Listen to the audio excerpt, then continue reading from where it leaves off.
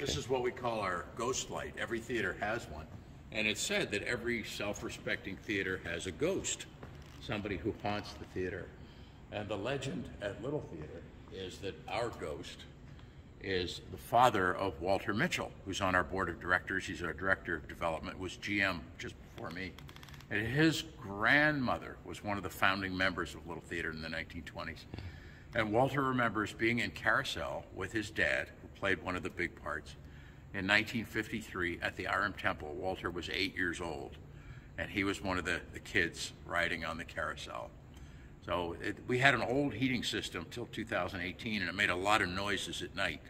And you'd be here late rehearsing or building sets, and you'd hear odd noises, and everybody said, "That's Walter's father."